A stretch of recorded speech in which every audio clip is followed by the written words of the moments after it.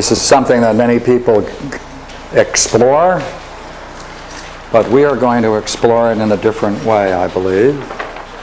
And we're going to be faithful to the text, and therefore let me get what I think is the basic issue.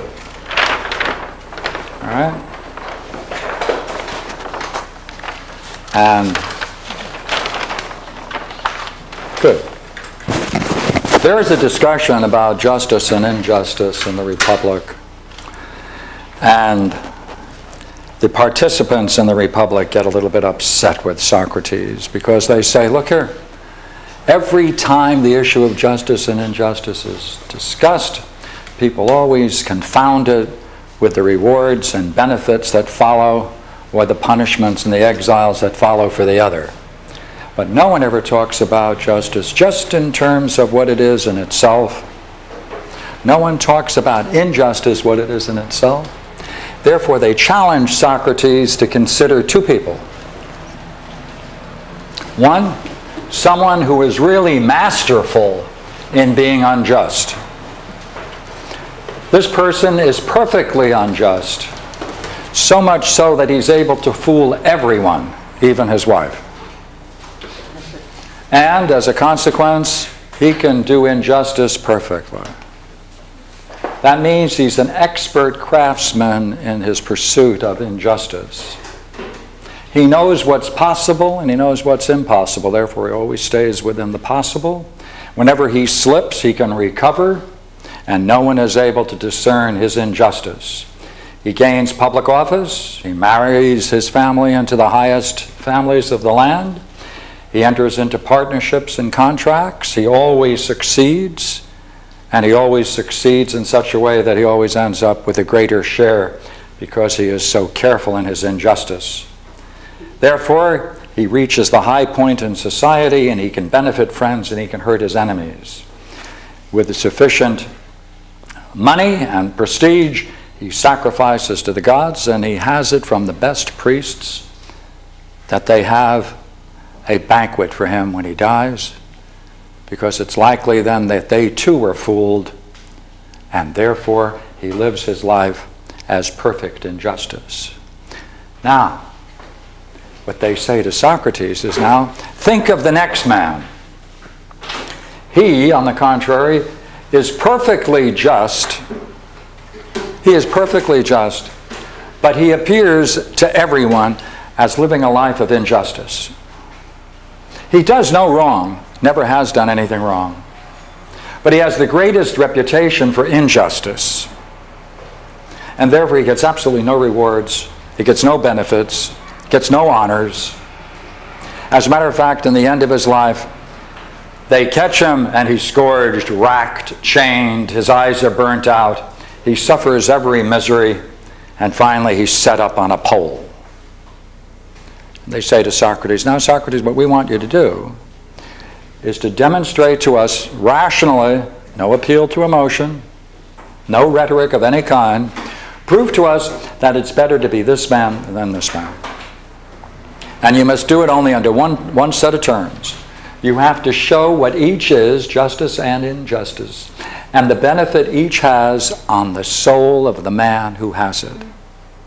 It must reflect back on the impact that justice and injustice has on the soul. And therefore, they say, let's strip everything apart from this. And therefore, this man who is naked appears naked because there is nothing, therefore, that he can be associated with that is unjust. And this man has all of the garments of appearing just, so he appears just, but he's unjust. He is just, but he appears unjust. And therefore, the great challenge in the Republic then is what is the nature of justice and justice? What each is and the benefit of each. Socrates accepts the challenge and they go and they, re- they repeat it a couple of times. The challenge, what, what each is, must be explored in itself by its own power, since each has a power, and it must be seen in the soul, and it must be hidden from the gods and men. We must show justice is the greatest good, and injustice the worst evil, and that must be demonstrated in terms of the impact each has on the soul of the man who possesses it. That's the challenge. Therefore, Socrates then sets up an analogy. Now, everything follows from this analogy. This is the central, the central piece of the Republic. Socrates says, look, it's going to be very difficult to explore justice and injustice in the, in the soul of man. What we need to do is see it written large. We have to see it in large, bold letters, as it were. Just as we studied letters as a child, he says. At first, you don't start with little letters. Your teacher shows them large and bold, and then you gain insight into them. You can then see them both in the large and the small. So he says, therefore, what we're going to do is see justice and injustice in the state, because the state is the soul written large. And therefore, he comes up with this beautiful analogy.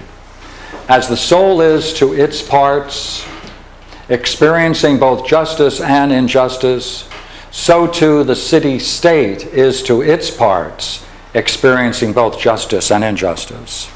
And therefore, Socrates says, Let us then build a state. Right? We'll build a state. The parts of the state are going to come out to be exactly as the parts of the soul.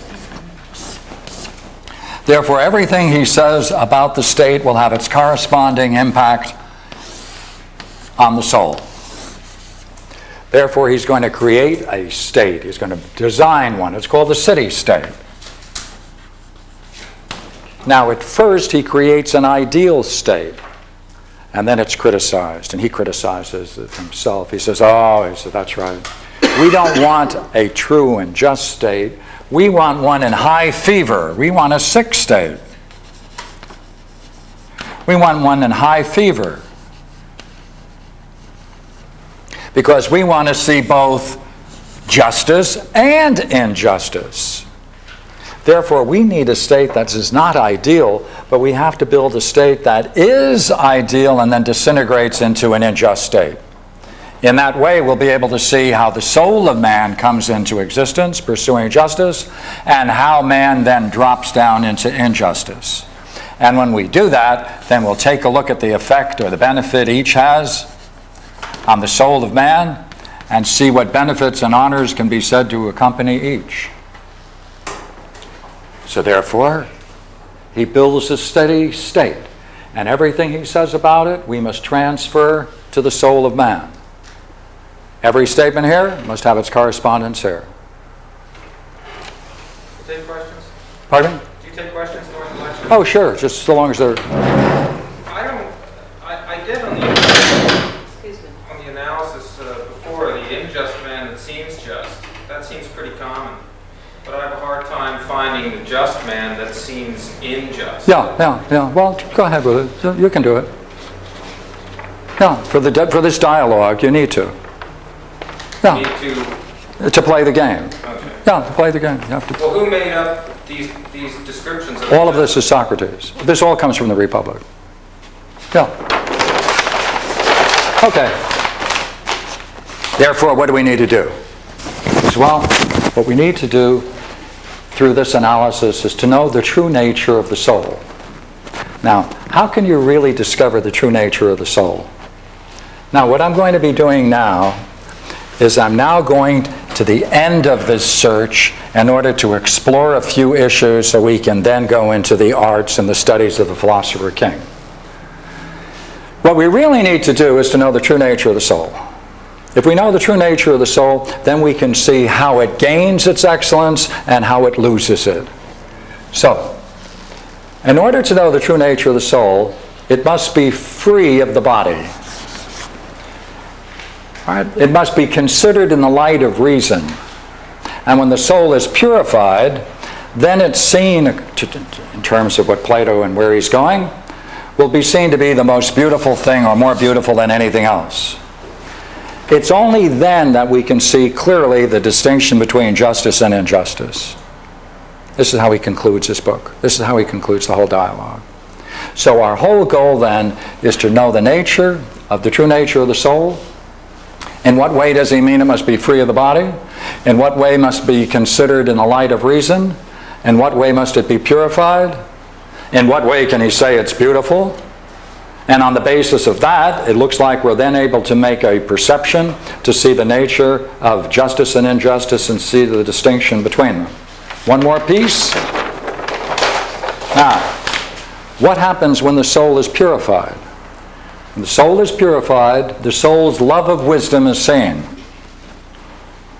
I need a, this won't work as a marker.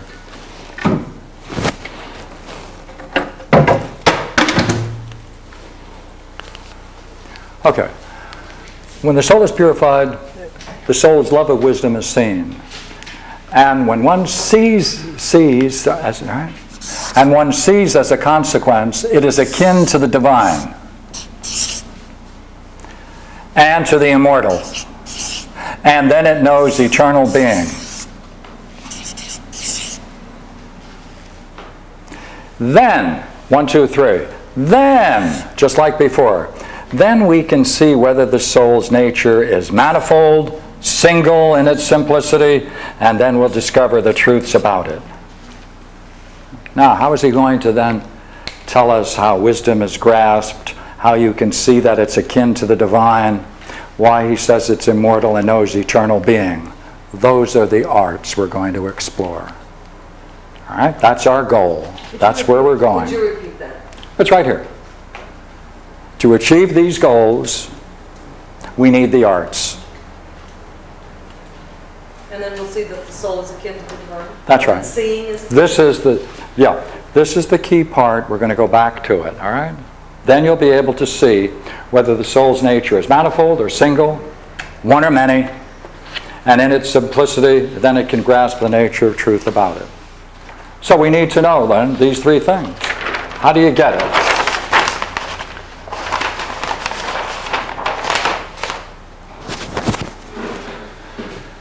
Now we're starting the arts. These are the studies of the philosopher king. First, he says that the ascension to reality, ultimate reality, is true philosophy. And the real goal is to see how we can be led upwards to the light, in this beautiful example here, as some are fabled to have ascended from Hades to heaven. Now, what kind of a journey is that, the ascension to true reality? It's a conversion.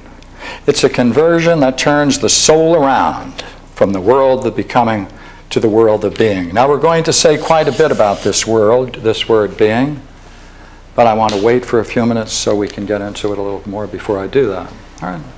Okay, that's our goal. What is it? We must be led upward, all right, to the light, as some are fabled to have ascended from Hades to heaven itself. What is it? It's a conversion, turning the soul around. Now, this is what is normally called the arts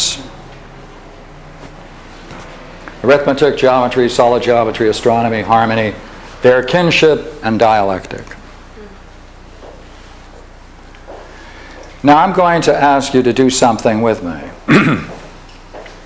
We're going to look at each one of these, and when we do it, I'm going to ask you whether or not the description is, that is given defines in any way that you're familiar with these subjects. Let me do you. As we go through this, I'm going to ask you whether the description that Plato gives for each one of these subjects is to be taken literally and therefore he really means arithmetic, or whether he means it to be taken analogically, since the whole thing is an analogy. You have to determine this with me as we pursue it. If you pursue it and see that it is not literal, but analogical, that's the double meaning, and that's where we're going. All right? Now, it's the last time you'll see these names. Now, um, I'd like to ask you something uh, for a couple of minutes. Um,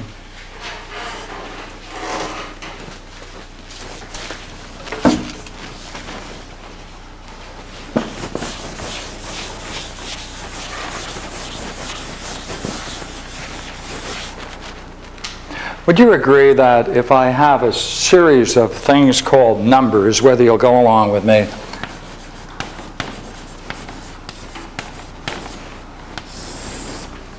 and I'm going to write their symbol.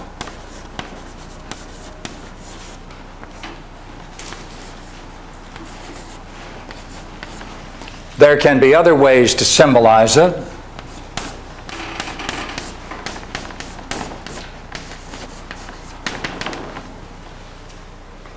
They have a name.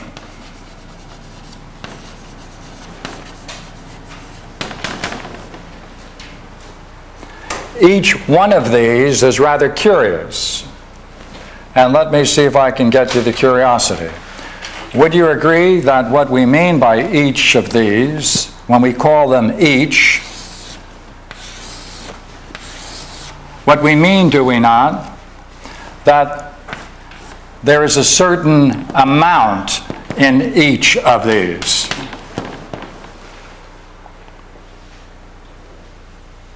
And when we talk about them, we take it as a unity, don't we?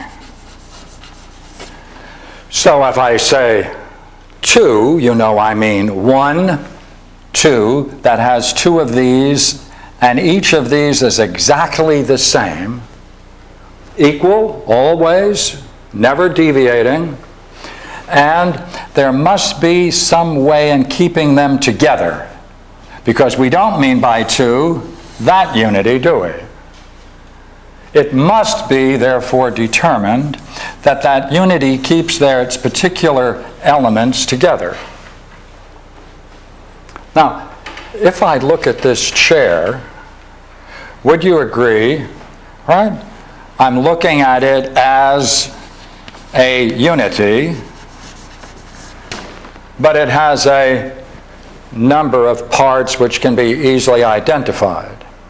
So therefore, it's a as a unity, it has it too has its parts,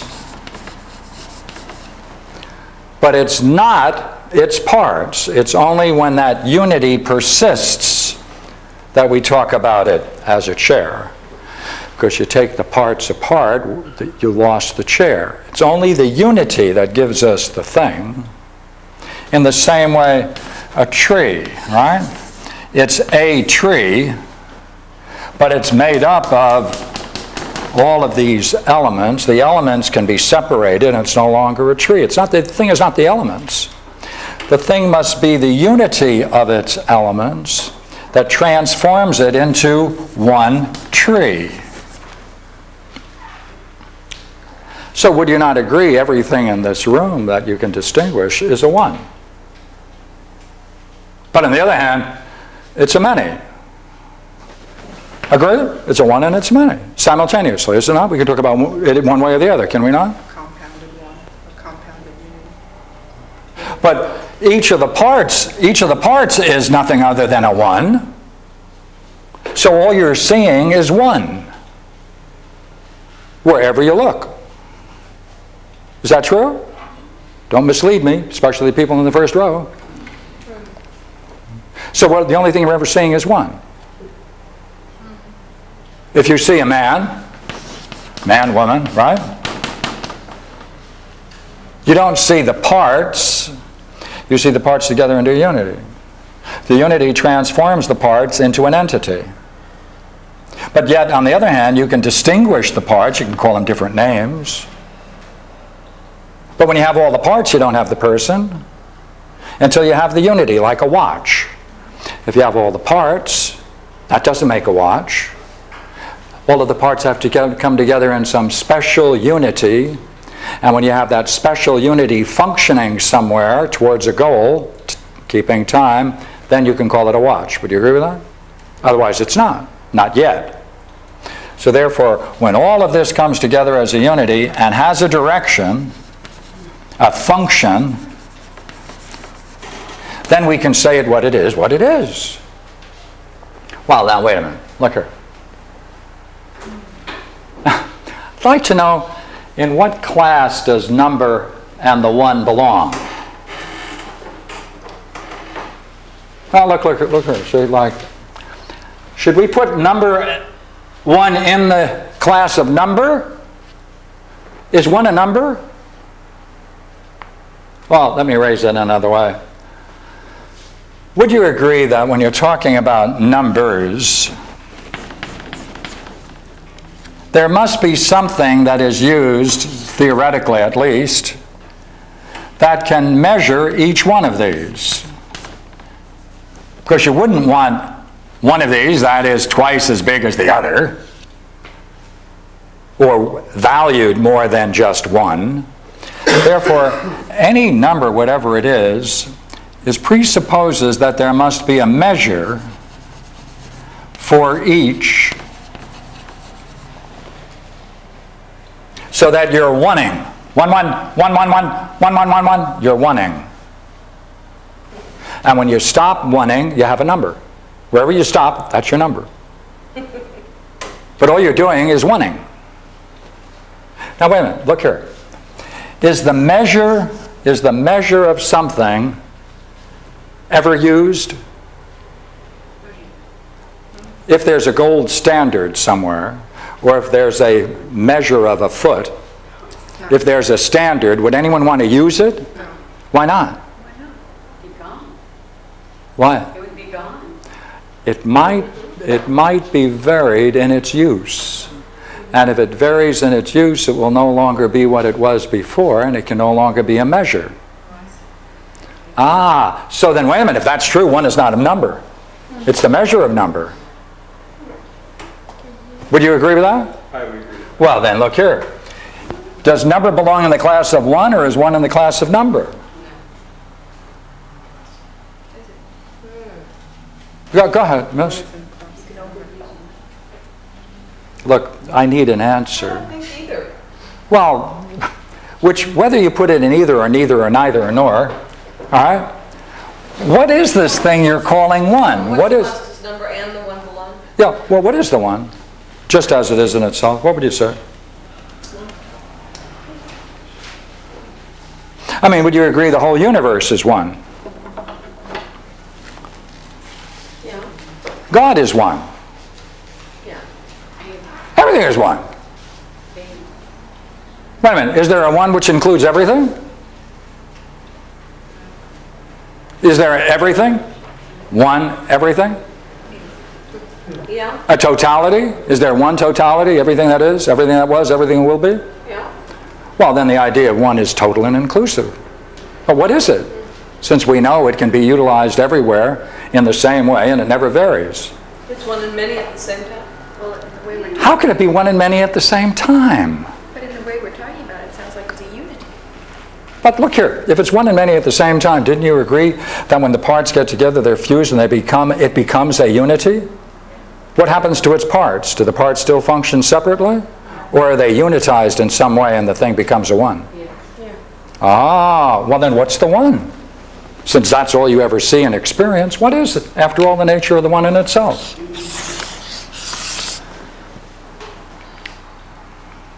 Okay. Plato takes this, you see, and he raises this point. The one that he postulates, each unity is equal to every other as a unity. Would you agree? One's equal to one. Pardon? One is equal to one. And all of these, all of these, and the unities, as unities, they're all equal. In that sense, that what you mean by each is a unity, and it unitizes the thing and it becomes a one, without the slightest difference. And once it's unified, it no longer talk, you can no longer talk about it as its parts separate. Therefore, it admits of no division into parts once it's a unitary thing. The entire universe is one as a unitized thing. Now, what would the what would the speculation on this question do to you if you decided to take it? Would you not then be saying about everything, the statue there, the chair there, the window here, every person in the room, what is each person is a one? What is, after all, the nature of the one? How did the one? How, what kind of universe are we living in, such that all you encounter is one? And yet you see many. What kind of a universe is it such that we can say anything besides one, one, one, one, one, one, one? Well, I imagine you don't want to be redundant, and therefore all you'd say is one. One. Well, we're talking about one this, one. This is what he says now, all right? The effect of holding on to this question has this effect it converts the soul to the knowledge of being. Remember, I said this is where we're going to keep going back to. That that was the effect of holding on to the question? Hold, yes, keeping that question.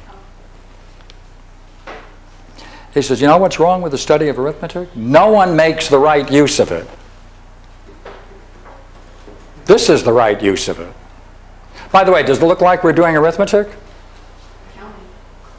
This is the way he is describing arithmetic in the Republic, what I'm doing.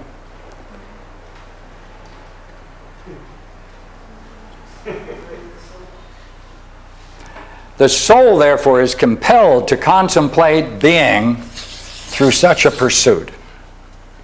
Because would you agree, whatever you call one, whatever you call one, has some, some kind of existence. Would you agree with that?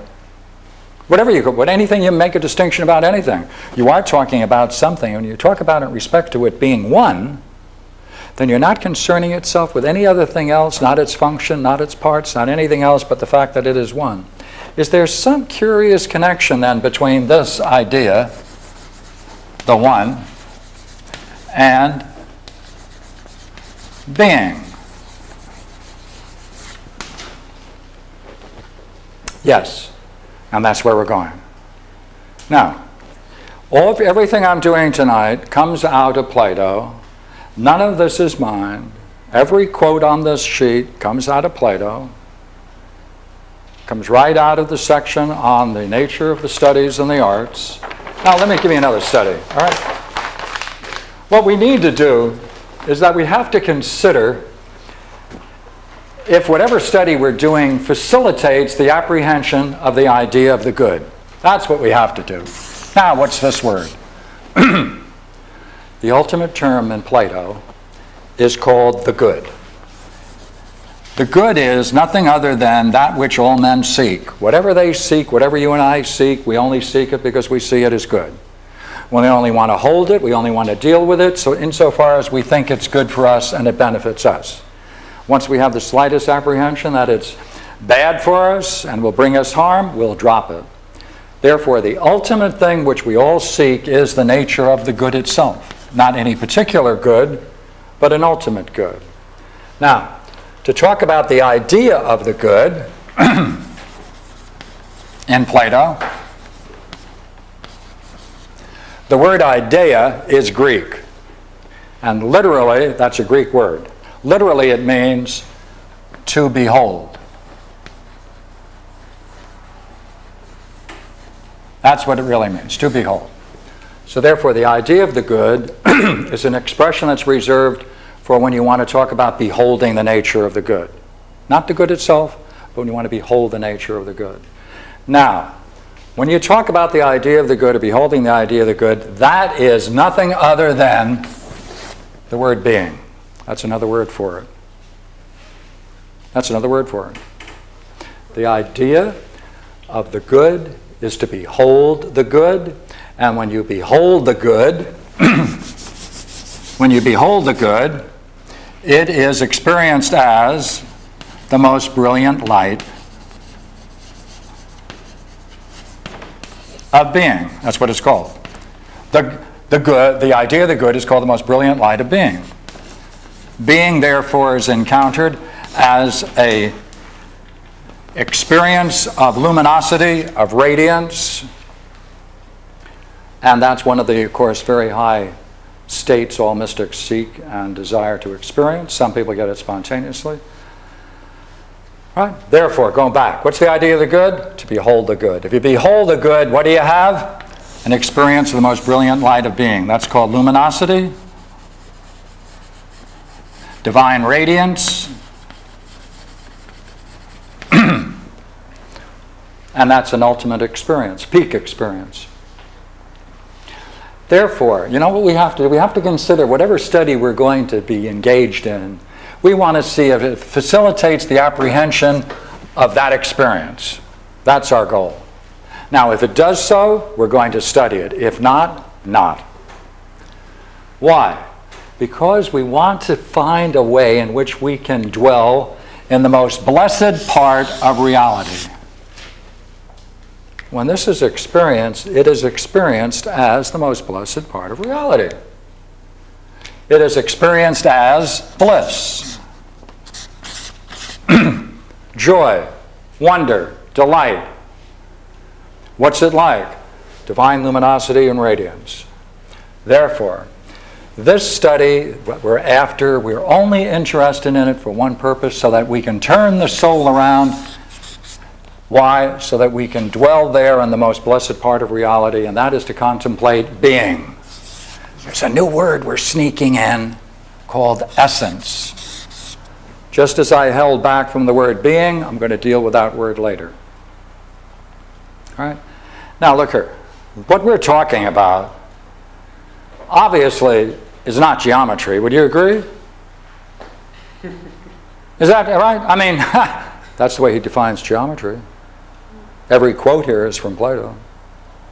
And therefore, he says, this way of talking is in direct contradiction with the language employed by its adepts, its geometrical teachers. See?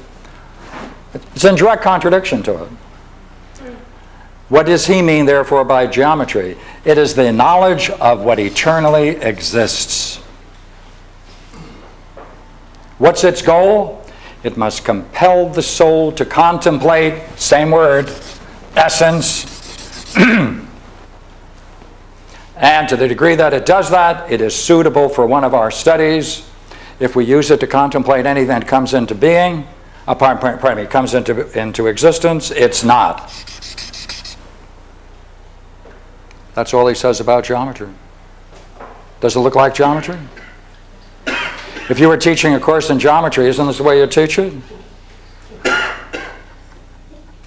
Strange, is it not? Now, wait a minute. We're gonna, it's going to get worse. he then talks about another study. And all I'm doing is taking the key quotes from each one of these sections, put them on the sheets, let you see them. Now, one of the goals of this strange study of geometry I need to use right now, he says, is that in the study of arithmetic, we must learn to do one thing to distinguish between 1, 2, and 3. I mean, what's so difficult about distinguishing between 1, 2, and 3? Now, what's interesting about Plato is that the effort you go through to understand it is itself is itself the very process of exercising the understanding. His goal is to awaken the understanding because understanding in this way prepares you for this experience. That's the whole goal. What is the end? The book itself is designed in such a way that when you focus on it and put your mind to mastering it, the very steps you're going to go through to master it is going to be the exercise of the understanding, which is the very faculty and the very thing he insists is the central purpose of his philosophy. Why? Because it can compare, it prepares the soul for a vision. Now, that's why I'm going back to this. One, two, and three. Every time Plato has a problem in any dialogue, especially the Republic, you can turn it into the Republic and look for its solution in terms of the Republic itself as an example within the book itself. Clever? So, therefore, if he says, look here, we must discover the, this distinction between 1, 2, and 3, you and I are going to say, well, that's obvious. Unless he himself has some trouble distinguishing 1, 2, and 3. If he does, would we not want to know what kind of problem emerges when he has trouble distinguishing 1, 2, and 3 right in the Republic? Because if he says it's essential to understand the distinction between 1, 2, and 3, and he goofs himself and can't count 1, 2, and 3, would we not want to study that and see what he means? Mm-hmm. That's right. How he resolves it. How he resolves it. Okay, good. Next, here we go.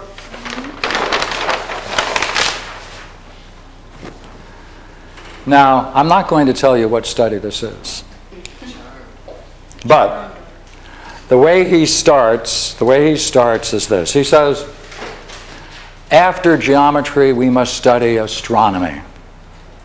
And they go on talking about astronomy for a few minutes, and then Socrates says, Oh, I think I made a mistake. I made a mistake. Astronomy doesn't follow geometry. I have to go back and correct myself. I wasn't making a distinction that I should have made. One, two, three. Therefore, what does this allow us? One, two, three. That, that means these studies just don't appear in any order, because he wouldn't have made a mistake if the order doesn't matter. If it does matter in what order they're taking, to distinguish between 1, 2, and 3 is the notion that you have to approach these studies hierarchically and put one higher than the other. If that weren't the case, he would never have admitted he made a mistake. There'd be no point in making a mistake or admitting he made a mistake. Therefore, by correcting it, he tells us the significance of ordering these in a hierarchical way. Oh, that's an interesting sideline. Okay. There's a charmed art he has. Now, let me look at this. They're very interesting. Charmed art. He said, you know, if we can only get this art to be supervised by the city, oh, we said everything would change. But right now, there's no honor for this study, even though it's a charmed art. But if we could get a supervisor and if we could get it honored, and if the advice of this art were taken, then the whole society would change in a very significant way. But right now, there's no honor given to it because it's seen as too difficult. You need a teacher or a director. And right now, the seekers are too arrogant to submit to the discipline required. Biggest problem in bringing out this charmed art is that the people are ignorant of the reasons for its pursuit. And so long as they're ignorant of the reasons for its pursuit, they're never going to study it. He said, therefore, we must talk about the nature of this charmed art. Ah, left out a letter. Which one?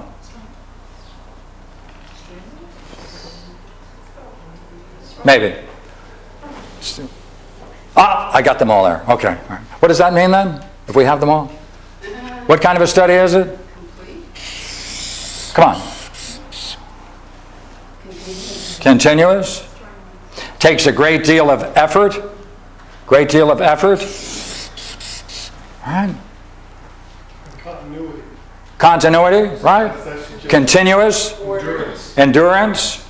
Persistent. Order, right? And that will be necessary if you want to go through an investigation to bring out the truth of what you're studying. He said, This is solid geometry. Doesn't it look like it? Hmm. Solid. No way, does it? You see, it's analogical. He's taking each one of these analogically.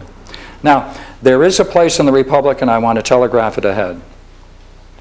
All right? Later in the dialogue in Book 8, Book 9, and a section of 10, he talks about these figures that we were talking about before, which is the just man and the unjust man, and the kinds of lives they lead. And he talks about them in terms of plane figures. And then he talks about them, right? When you begin to study them and see those figures, those people in depth, solid geometry.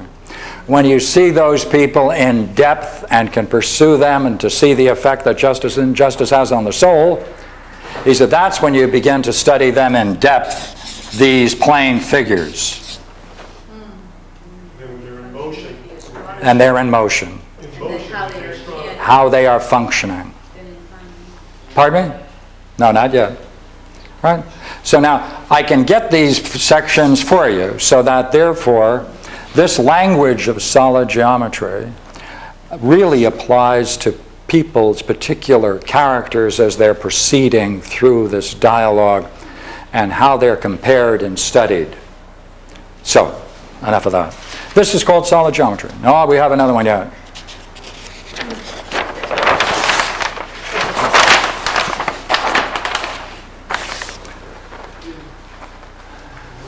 Now, look here.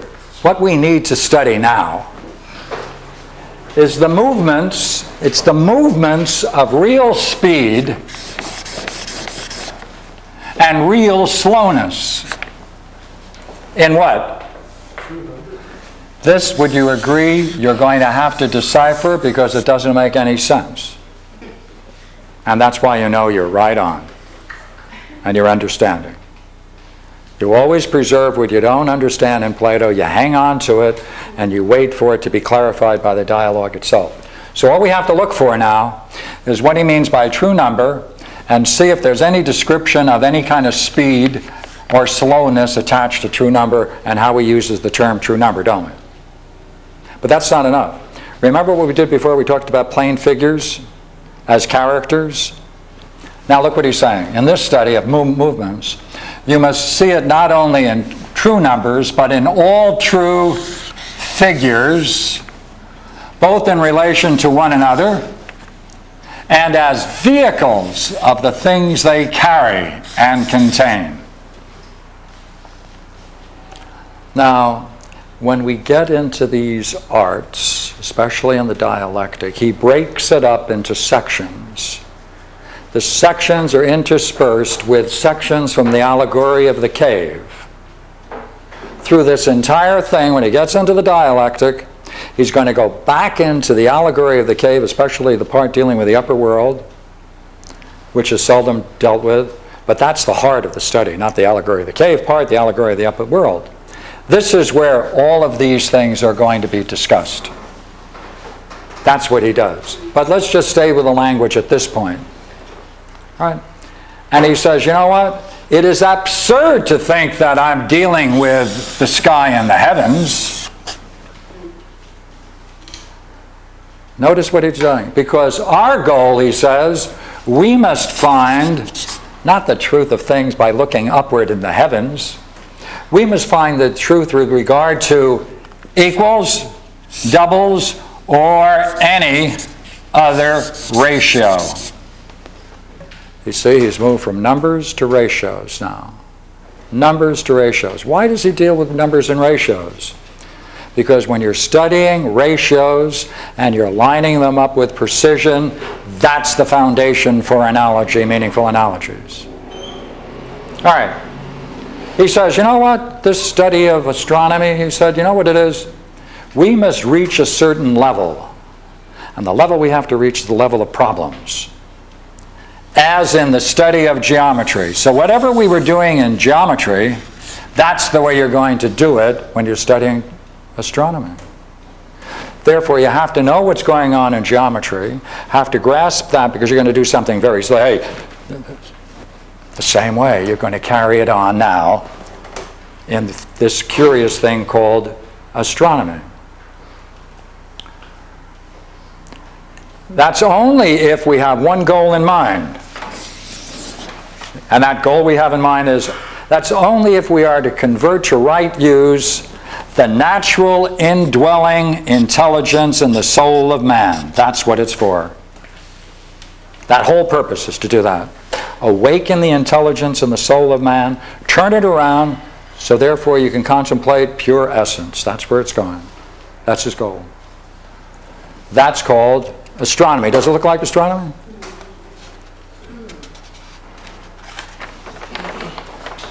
Wow.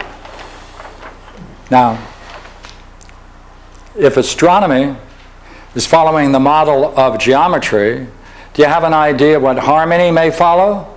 Oh, yeah. This method corresponds to that of astronomy. And he says what you have to do is ascend to generalized problems. What kinds of problems? Again, which numbers are concordant and which are not? Back with what? Numbers, ratios, plane figures. We're in no way talking about anything that looks like harmony, are we? This is harmony. Now, he has a special use of the word concordant. If you had a TLG, access to TLG or Plato's uh, index, you could look that word up in the Greek and you could find every place it used and you'll see why he uses it. Because he's taking it metaphorically. He says this study has only one goal, only one goal. It's useful for the investigation of the beautiful and the good, no longer the idea of the good, but the ultimate. Now, beauty in relationship to the good, this beauty, the, most brilliant light of being, is obviously the most beautiful thing that anyone can possibly imagine because it violates all restrictions. It's a total experience of pure beauty. It is said to, it is said to stand in this relationship. The ultimate is the good. The vestibule around the good is pure beauty, radiant, shining, blissful. That's called being. Idea of the good. Because if you behold it, that's what you'll encounter. Therefore, this is useful for the investigation of the beautiful and the good. That's what its purpose. That's its purpose.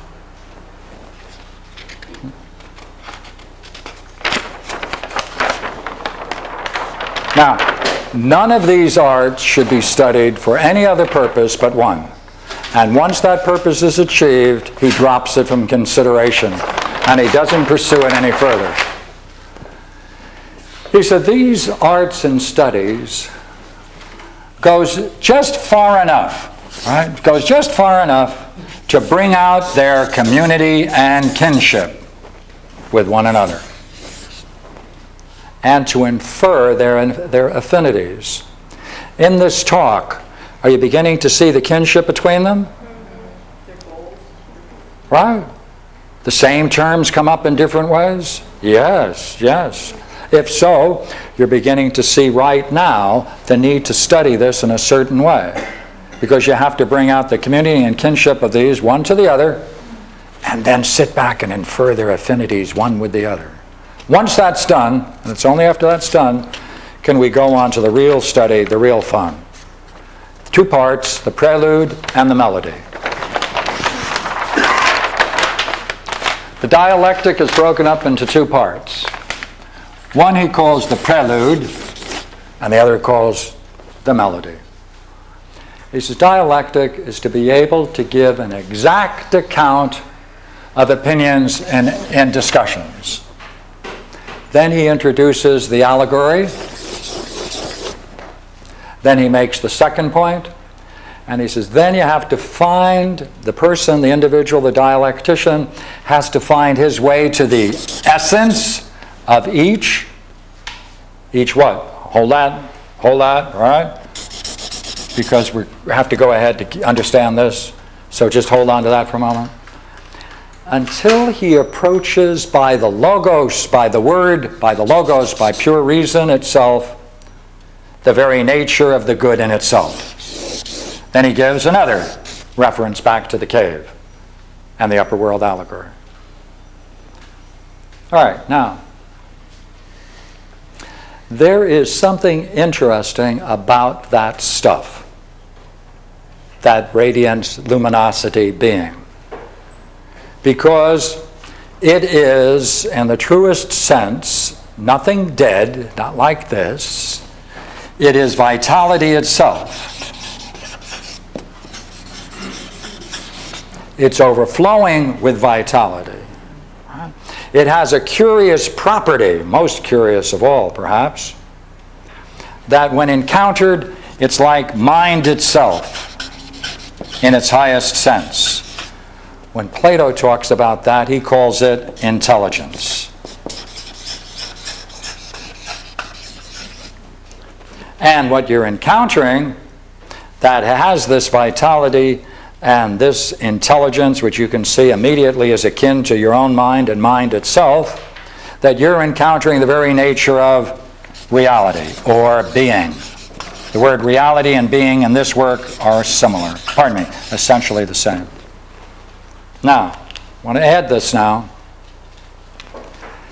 This is capable of being absorbed into deeper, more profoundly because it has its own reflective capacity.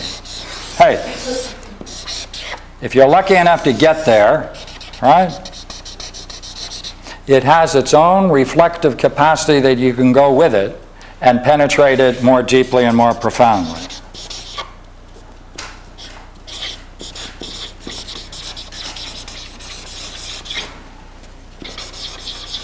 That means it has the capacity to bring you along, turn you around into the very nature of reality. That expression in Greek is ousia. That's one word, ousia. And our translators translate it with the word essence.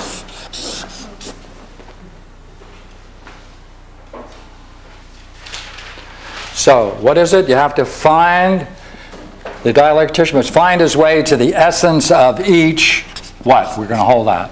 But whatever it's going to be, it must be that which has the capacity to turn upon itself and bring you to a higher level of existence. For that's the nature of ousia, or essence. All right? What's this? The prelude. Now we have to go to the higher part of the dialectic. Which is called the melody of the dialectic.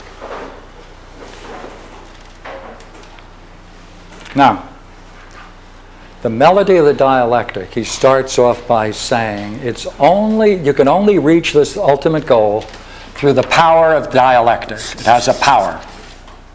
Because it's only through that power that this can be revealed. What can be revealed? The nature of the good in itself. How do you do it? How must dialectic proceed? It proceeds systematically in all cases to determine what each really is. Each what? You're still asking, are you not? That's good. We haven't opened it up yet. All right? How do you proceed? In this highest part of the melody, it's a kind of reasoning that challenges the very hypotheses that underlie the system of exploration, and you have to do away with each one as you proceed until you reach up to the first principle of everything, of all, and there you find confirmation there. That's an insight into the nature of the good or the one itself. What is it capable of doing? It draws the soul, draws the soul up. Now, what you have to do, he has a beautiful quote. He's, here it is. The dialectician must give an exact account of each one must, the dialectician must be able to grasp the essence of each and of the good and of the good, examining everything by essence. What are these things? These are the four key ideas in Book 6 and in Book 7. Those are the cognitive functions of the soul, the way in which the soul knows, experiences, and comes into touch with ultimate reality. You can have an image of it, draw a picture of it. You can have certain beliefs about it.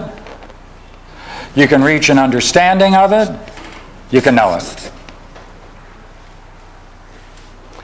Therefore, if you're going to be the dialectician, your goal must be systematically, in each case where these four terms are being used, to determine what each really is in itself what else must you do? You must give an exact account of each, and by the use of this idea of essence, because you have to reach the essence of each, that means you have to take a look at this in such a way to see that this has potentially the power. Belief has the power of. Understanding has the power of. That's the goal. Transform.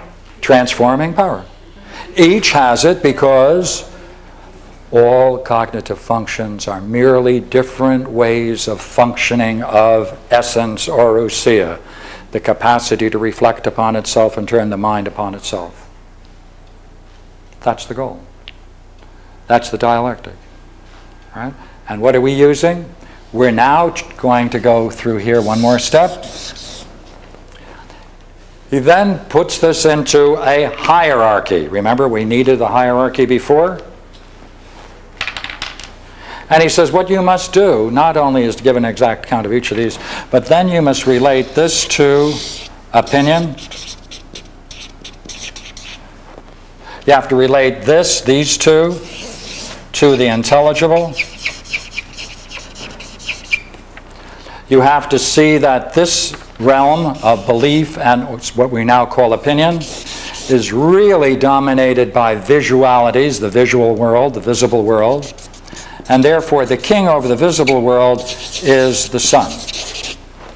As that which rules over understanding and knowing is the intelligible world, and what rules over it is the nature of the good. Now he says, we must now work with this and see and transform it in all the ways in which it can be represented. And he turns to Glaucon and he says, we, well, We're not going to do it now. And Glaucon, his colleague in the dialogue, says, Well, you know, I'd like to do it. And he says, Well, I, am not going to be able to do it for him. I don't think you'll be able to follow. And therefore, he gives him, as it were, an assignment which is very similar to the assignment he gives him at the end of Book 6, which is to work out the implications of the divided line. This is called the divided line. The divided line is this, where you take a line and break it up into greater and lesser, and the same ratio is reproduced again. And here you put knowing, here you put understanding, here you put belief and image thinking. Same thing here. And therefore, the whole goal of this game is that now, once you understand this, see how each of them function, go back into the Republic, see how each of these functions in the dialogue, begin to see the nature of each one, and how each one then can be said to be understood in terms of its capacity to reflect upon its higher and bring you to the higher until finally you reach knowing and through knowing reach the intelligible, and in reaching the intelligible reach the ultimate experience of man, which is an insight into the nature of the good itself.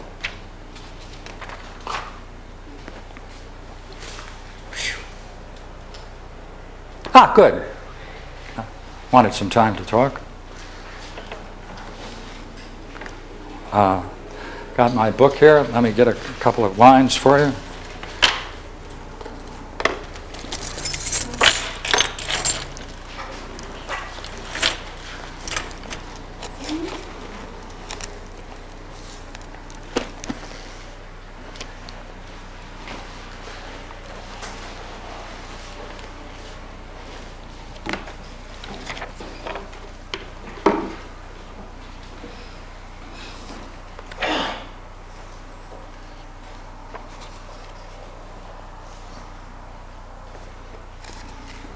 Now, he talks about a true number.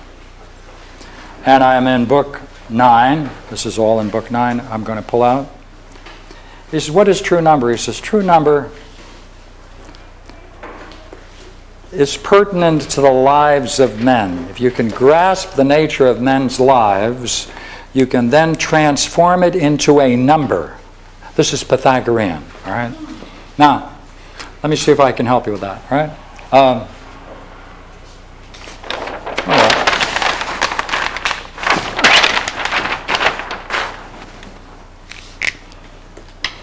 uh, okay. Um, the tyrant. Now we're talking about it politically, but we also we can talk about it in terms of the state of mind of the tyrant. 1 PCW 452, lights are left on in your vehicle. One piece, thank you. No?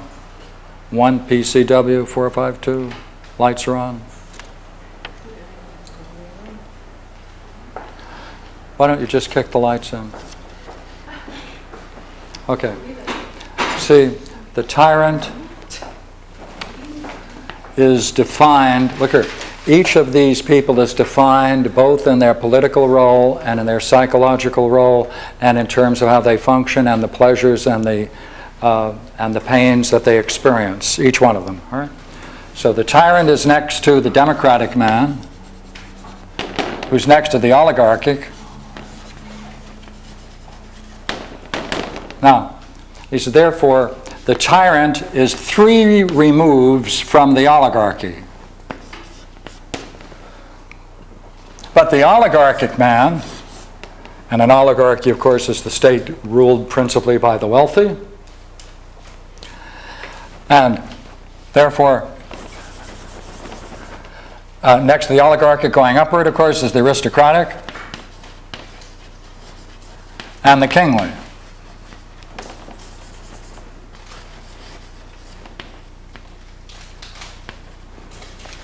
Now, the oligarchic man is three times three measures away from the true king. Therefore, the tyrant is three times three away. Or nine. Therefore, he's now going to use the number nine to represent the tyrant. Now, he's going to talk about the tyrant in respect to other qualities of the tyrant, and he is then going to place him along a scale which will then be able to reproduce a particular numerical value. You sum up all of those qualities, and that will generate for you a particular number that represents the tyrant in all of his aspects, and that's 729. Now, the way he does this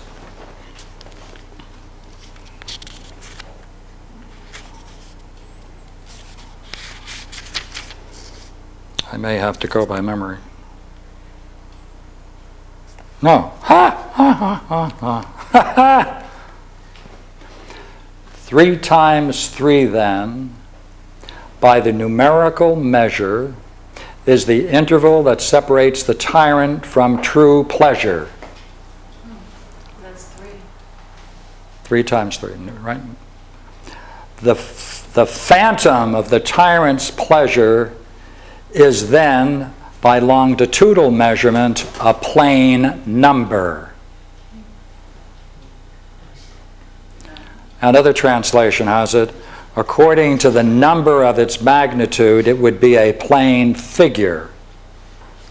See how he's weaving in, in a metaphoric use of the language from geometry into this field? Then you see, he then expresses the relationship by saying, and now you must square and cube it so that you finally get the distance that separates the tyrant from the true king.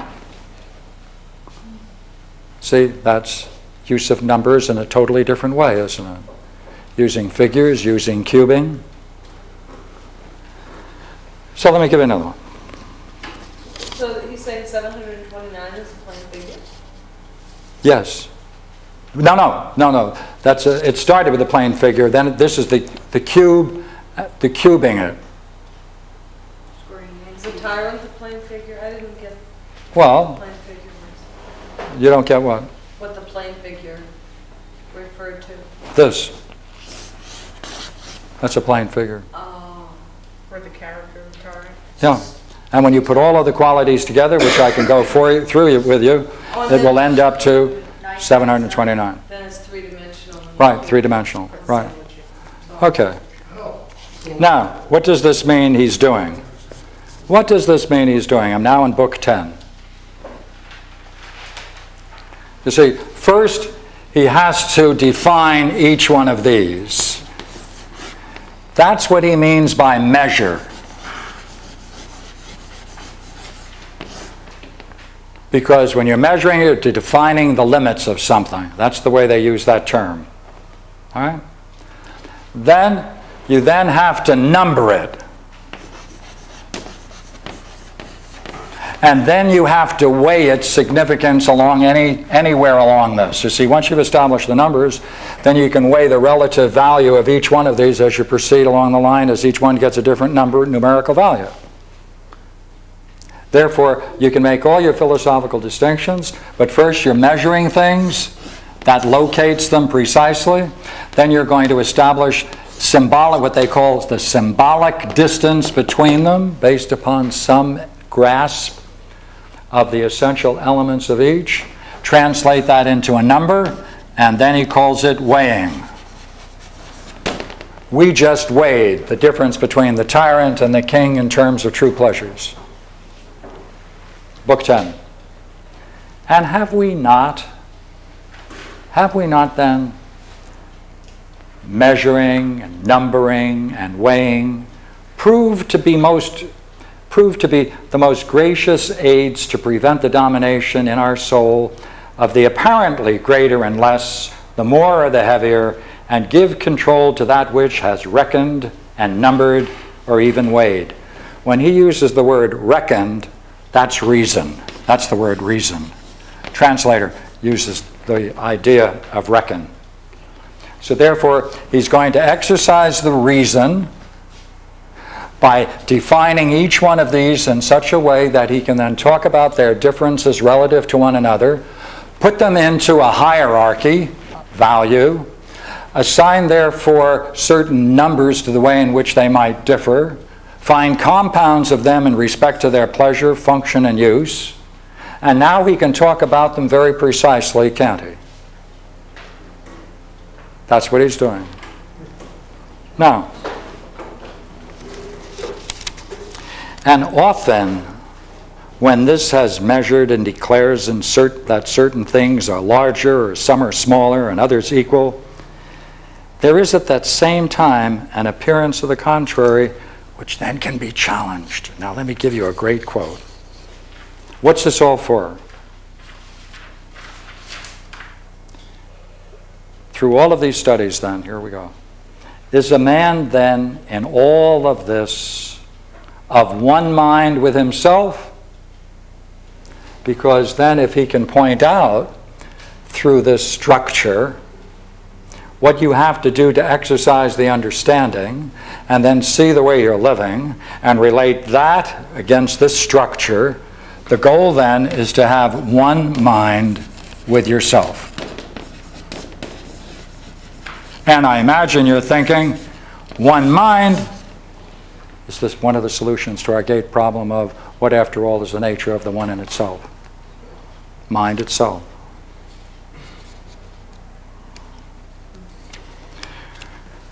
And again, I want to go back into the idea. Remember, we're talking about movements of numbers and speed and swiftness and slowness.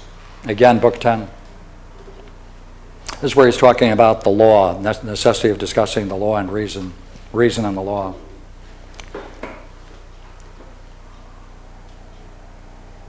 The law, I suppose, declares that it is best to keep quiet as far as possible in calamity not to chafe and repine because we cannot know what is really good and evil in such things. And it advantages us nothing to take them hard, and nothing in mortal life is really of great concern. And our grieving checks the very thing we need to come to our aid as quickly as possible in such cases. What's that?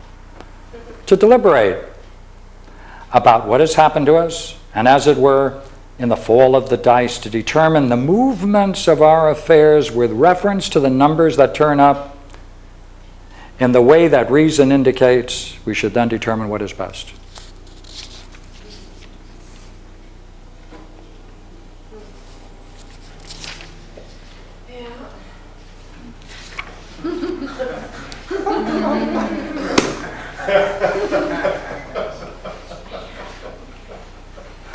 I wanted to introduce you to the arts of Plato, taken on a spiritual level, which is all of these come from Plato, all of these quotes come from Plato.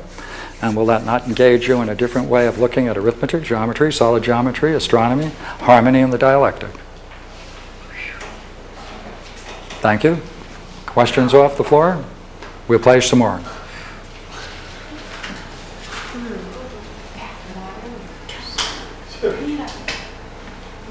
Speed up your presentation a little bit?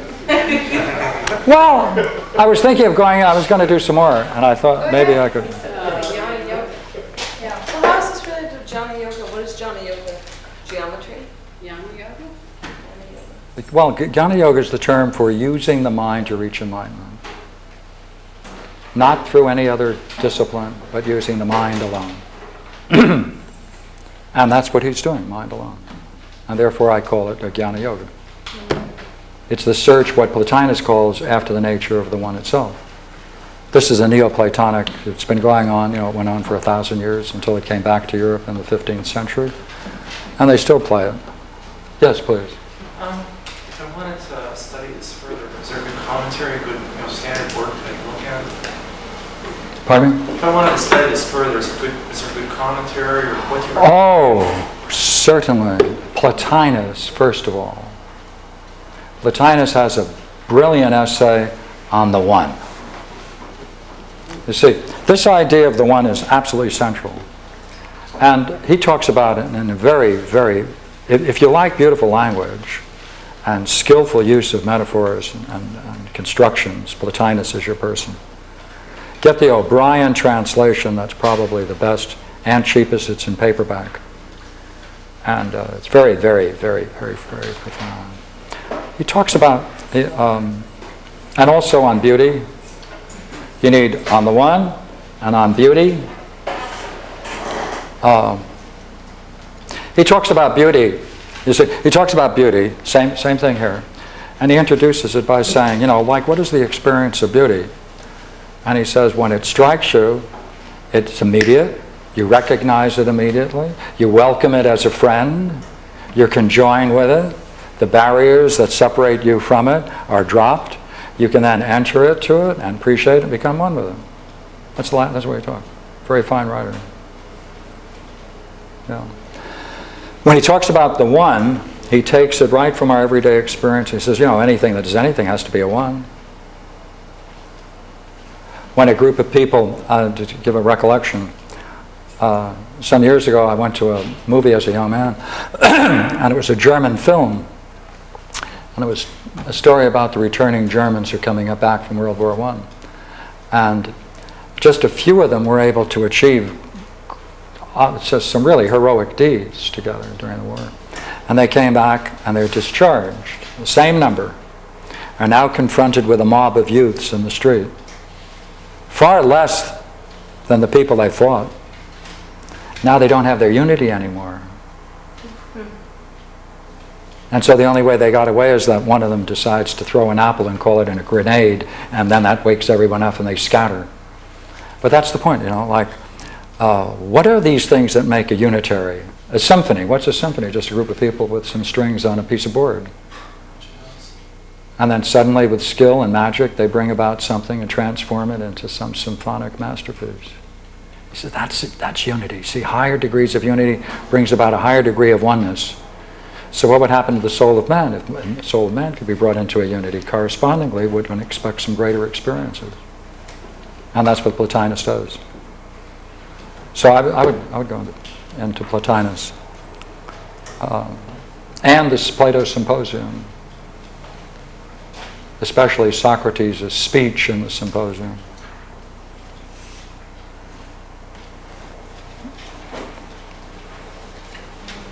Um, Did, did you skip over kinship, or was that somewhere in between? no, no, no, no, I hope not. Uh, kinship and community, actually. Um, Okay, so that is between harmony and dialectic, is- is there an actual study called, called kinship? No, no. That's where he's making the point that each of these studies must be engaged in until one is able to then bring all of them together into a community and kinship. Right, so therefore you have to find some basis of making that, that distinction, but it's a process you have to go through, and that means what you're going to be doing, by the way, is you're going to be doing this with reason. That's going to give you a way of seeing their kinship and their community, one with the other. So you have to go back into each one, as we did a moment ago, pull out what he's describing in each, and you'll see their kinship, because we stressed, did we not, the very idea of number and numbering? That's its kinship, see, because all numbering is the same. Yes, please. 729 reduces to 9. Is there Oh, I'll give you, I'll give you, I'll- I'm glad you asked. I, I like to read that section.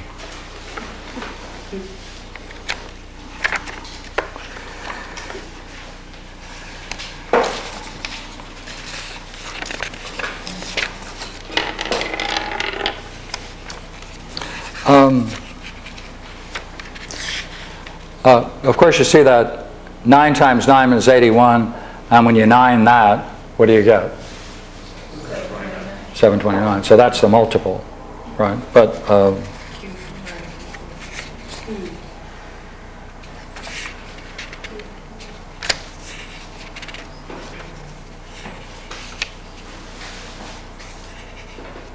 hmm, book nine. Come on, book nine.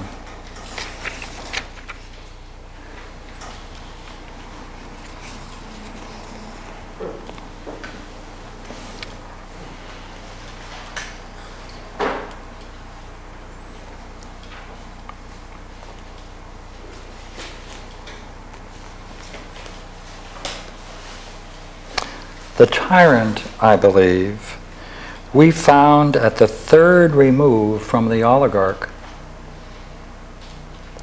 For the democratic came between.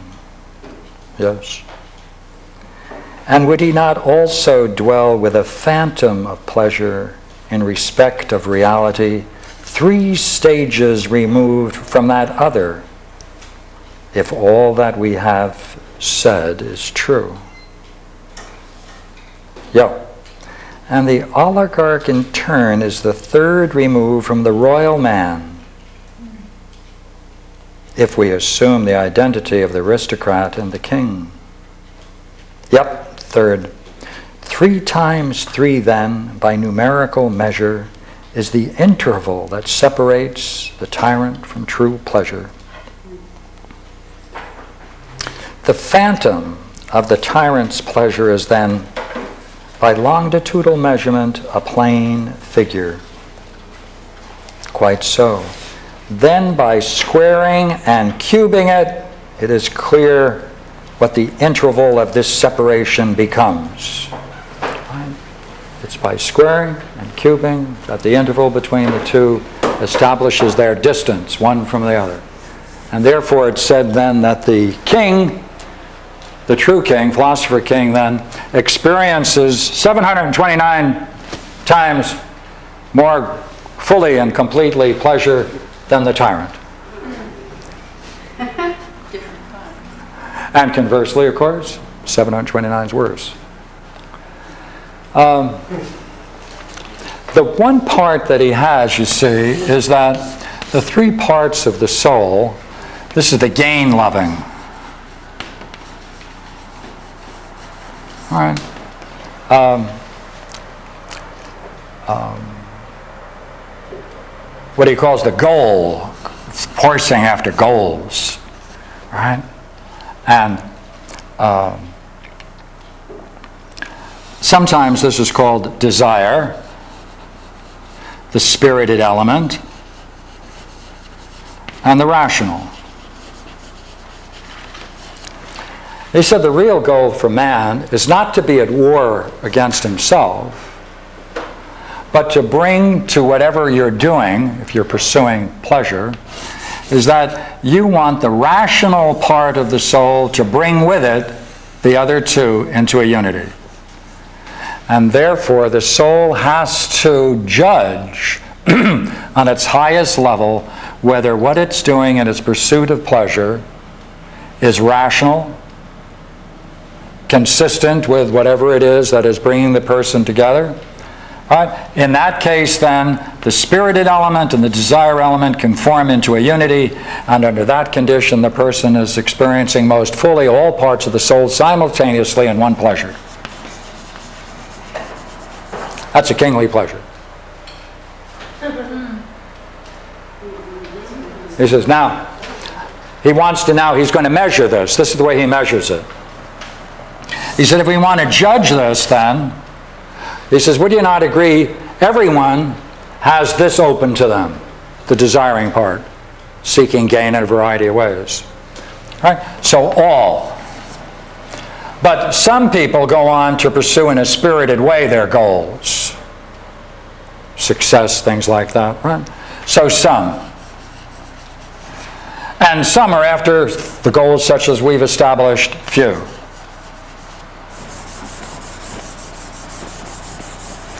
He says, but however, those few have experienced all three. But the lowest level has only experienced itself and can't participate in the second or the third, or doesn't.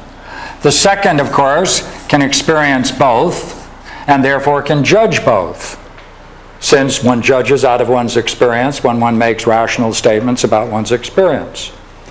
Therefore, there's only one person here who has full experience of all three and can judge, therefore, the rel- relationship between each and the relative strength of each of the pleasures experienced by the soul of man. so, so that's measuring, making distinctions. Now he takes the same structure and he's going to push it on another level, right? One, two, three. See, one, two, three. He's going to say that there is someone who designs, there's uh, designs and uses, there's someone who makes what is used, and there is someone who can copy an image of what is used.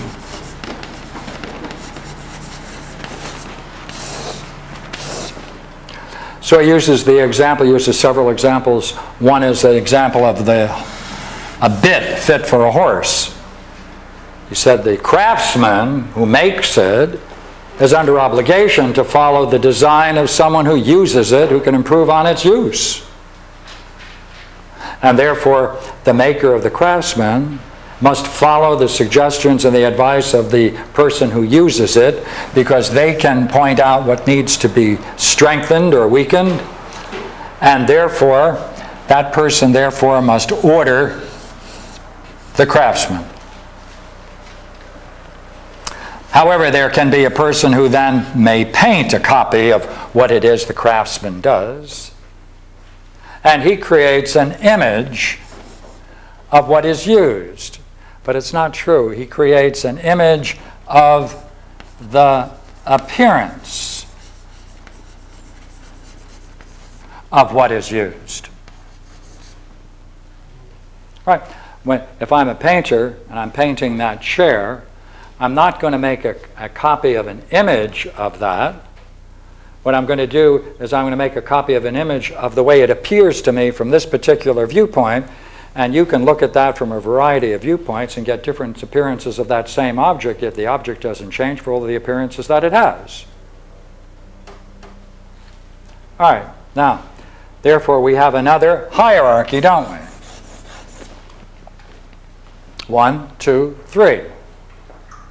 Now, he's going to say that the tyrant, the tyrant is really someone who is an imitator. He really imitates a ruler, but he really isn't. He's really a thug who holds an office, and he's really a robber who holds office, and he really doesn't even deserve the title of tyrant because that suggests a relationship to a legitimate state. He said, therefore, he's really just someone who's copying and imitating what a ruler might do and be. But he's not even that. He's only given an image of an appearance of a ruler. Ah, if that's true, then, right? Well, where did he get that appearance? He must have gotten that appearance. Well, someone must have been around so that he could imitate him. But wait a minute. That imitation, does the person who makes and appears the way in which the ruler appears, does he really know what a ruler is? Now he says, okay, next step, next step. He says, look here, this is also the level of imitation. Now, the tyrant is an imitation, and so are all the poets. And anyone who wants to convince you of anything. They have to imitate someone as if they know, and appear as if they know if they're going to try to persuade you about the truth of something. When they don't know it, they have to give the appearance, don't they? Therefore, he says, you know what's interesting, therefore, is that um, imitation lies at the heart of all tyrants. And anyone who teaches anyone to imitate another is setting up the conditions for a people to appear and to convince others. But then he says, look here, let's look at the two types of people that can be imitated. He said, first of all, he said, if you want someone to be imit- imitate someone, it's best to pick someone who's unstable. who goes through violent extremes because they're easier to imitate than someone who has a sound mind and doesn't show extremes in his behavior or his conduct and therefore looks quite cool to everyone. Worst person to imitate. Therefore, the only people who can be imitated are who themselves move back and forth in a real swift movement back and forth through all the forms that they take on. Uh oh. Real swiftness?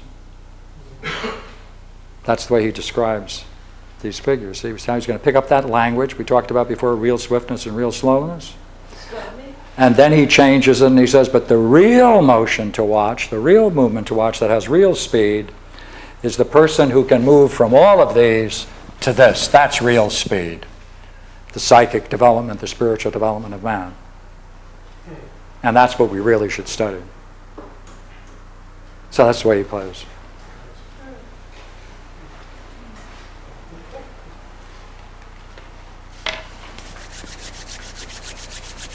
Thank you. Thank you. Oh, yeah. Geometry then study the virtues? Uh, um, I don't think so. Why, what leads you to that? Well, it says it's, it's the study of, it's the knowledge of, of real beings. Yes.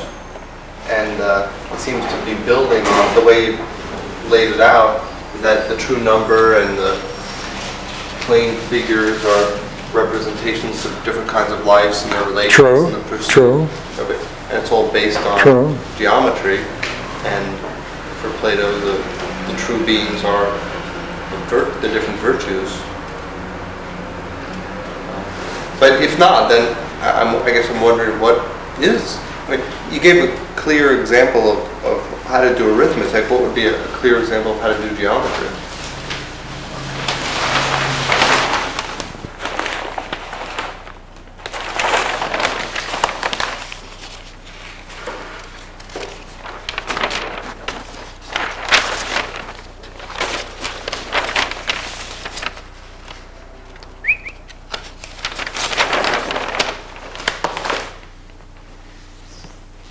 Apprehension of the idea of the good. Yeah, but I thought the whole point of geometry is to get you to apprehend the idea of the good. Uh, through contemplation of the one and the idea of the good.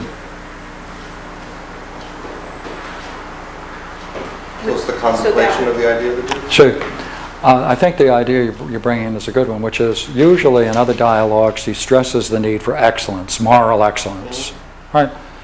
But as we look at this, you see, this already assumes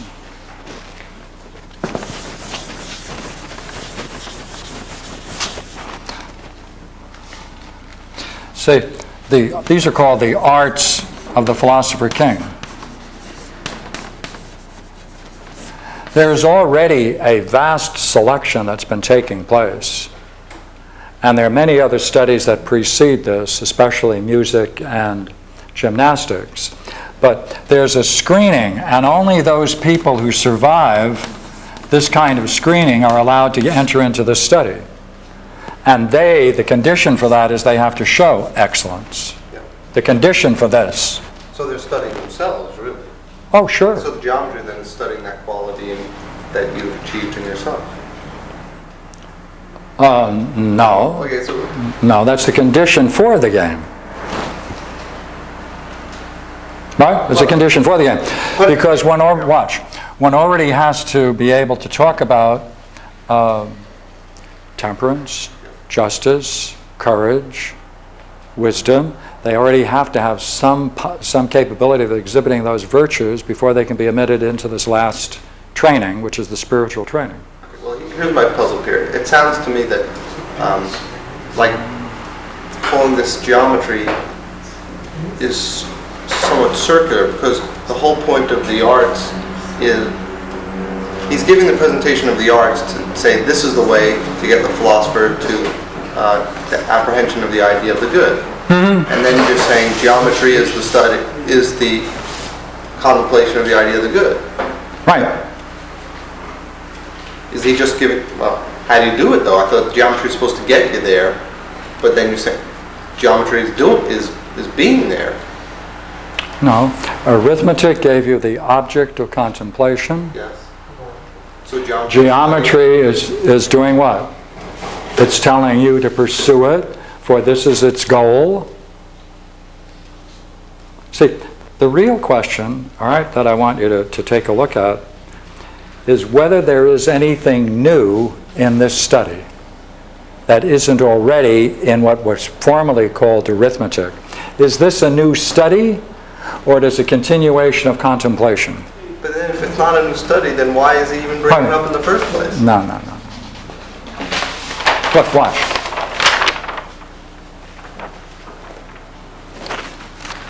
This converts the soul to the knowledge of being. Mm-hmm. Right? What does it do? It converts the soul to the knowledge of being. Right? It compels it to contemplate being. Now it's going to the idea of the good, to be able to perceive the blessed part of reality, to contemplate new thing essence, to be able to see that there's a part of reality which is continuously contemplating itself on every level. So why does he? That's go- new. Okay, It's an but activity. No, no, is that new? I, I see that. Good. I don't have no understanding whatsoever of why he's putting it in this language. I mean, wouldn't it have just been, he could have done this in one page and say, step one, right? Consider, what is the one in itself?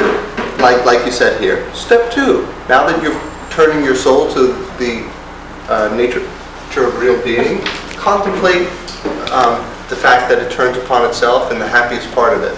Well, that's what he's Why- saying. why bring- That's what he's saying. why bring To up contemplate geometry, essence. Arithmetic and these calling sciences and studies. Because it's an analogy. I don't, You don't like analogies? Come on. I don't even see what's analogous about it. Do you see anything analogous between the state and the soul? Yes. Oh, good, good, good, good, good. Would you agree that people who study these things formally in a state, therefore are prepared for, for more uh, knowledgeable positions in the state? If they went through each of these studies as they are? No. Oh, okay. Usually people who study arithmetic and these kinds of things are prepared for public office. Now, the question is, come on now, the question is, can we use this language to talk about the soul and its cultivation? I don't, I don't see why it helps. I don't see why it helps. Why this language of arithmetic and geometry and these different things help the, stu- you know, the study. Okay. Help our understanding, you know, how Well, this, because if it's an analogy, it's supposed to make it clear, isn't it? It is clear. I don't find. I haven't found anything peculiar about it. No, no, well, it I think it obscures it. Pardon me. You may find it obscure, Yes. but this is really simple. Would you agree he's adding something here that he didn't have before? Yeah, Thank you. You asked how it differs? Did I point it out? yes. Good, good. Can we go through each one and see how it adds to it? Oh, I like what you did here. Wait a minute, wait a minute. No, no, please now. Yeah. Does it not also relate back to the allegory of the cave in the upper world? Do you have an interest in the allegory of the cave in the upper What are world? the descriptions? Oh, you're, you're, you're not, um, uh, see, this is a vast allegory. Remember what we said, the very practice of deciphering this and using your mind to understand it is the very process of understanding. Mm-hmm. That's what he says. Okay. All right? And therefore, if you go through this, you got to puzzle your way through it, and you're exercising something called understanding. It's quite sophisticated. I agree with you. He could make it easy. Mm-hmm. Yes, he could. But then you wouldn't be exercising understanding and seeing all of these things. The only question that's worthwhile, I think, for this game is whether the cultivation of the understanding in this way benefits you or anybody who studied it. That's the real issue. In other words, the question you're asking is, is this a, sig- is this a significant way to pursue a spiritual life? Or just uh, As a people go to meditation, they go to Zen, they go to monasteries, they go to Christianity, they go to all kinds of religions. Each one has a spiritual path. This is Platonic. It requires understanding and the dialectic. And isn't it also, and And What? isn't- And an activity. and an activity. Isn't that what this level adds to? Yeah, yeah, yeah. And isn't it also in that, I was thinking that in terms of the way he outlines image thinking, beliefs, understanding, and knowledge, that by using these kinds of concepts, he's showing, he's moving from the appearance, which is the lower part, to the reality, and these have an appearance of knowledge, each of these activities, but that isn't the true knowledge. So it Yeah. looks, it looks like. Yeah, one's the appearance, one's the reality. So in some sense, he's, Yeah, that's true. he's bringing in everything that we relate to as knowledge. The geometry is an appearance of knowledge, is that what you mean? Yeah, that's what he's saying. But let me return to the point. Would it be, would, could it be more simply stated directly without all of this analogical structure? Yes. Yeah, Yeah, but it, but it- that's like giving you an answer, not, yeah. it is, it is giving an It's answer. giving you the That's right. No, see, obviously then you agree that if you were going to pull this out, you have to do some work. The question is whether or not the work is worthwhile.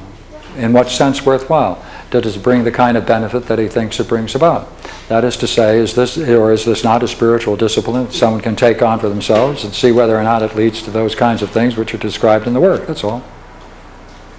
Well, it's you know, You to. mean he owes us a light experience and we do it, do this, do this book right?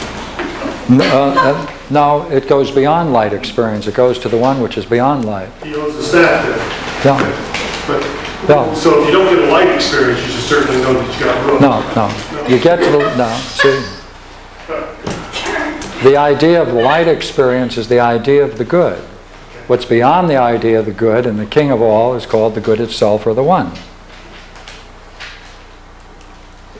But if you were to do this, if you were to do this book really well, Mm-hmm. then you'd at least get that. You at least get that. yes, you would at least get the idea, well, can you get the idea of the good without getting the good? In this book, it doesn't seem like you could. No, it's, it- perhaps, it's, it's rather this way. You see, Plato in the seventh book says there's a problem, and, and he reflects and he says, no, there's a problem. And that is people who grasp this idea of the good and they're bathed in this divine luminosity, they want to stay there. And they have no other function but to stay there. And he says we aren't going to allow that in our system. He wants them to go beyond that to experience the nature of the good or the one itself. So, yeah. See, there are many systems like Hinduism, like the Bhagavad Gita, who stop at the divine luminosity. That's the highest vision. Is there a notion here timing? Like a person will write in his practice and write in the practice and then see something? And, uh, yes, there's an age for each one of these, and it goes through a certain chronological period, so many years for this, so many years for that. But the real point is that one is finally understood, then one, then one contemplates. It's a contemplative art. By the way, would that mean it should be continuous?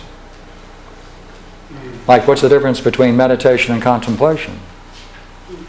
What's the difference between concentration, meditation, right? Concentration, meditation, and contemplation.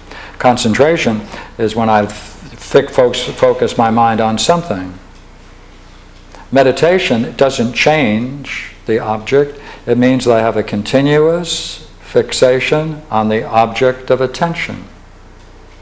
Continuous. Does that remind you of something in there? Continuous, absorbed, right? Once one is once one is absorbed in the object of one's continuous meditation, that's contemplation. The object doesn't change as you proceed from concentration, meditation to contemplation. When you have attention, meditation, and contemplation in yoga, that's called a samyama. And if you can practice a a samyama on anything, once you've mastered that three steps, he's saying, okay, do it. On what? The nature of the one. Become one, right? Is that the goal. Become the one yourself. And he's going to lay out what he thinks is the procedure for such a unity. Thank you. Thank you. Thank you.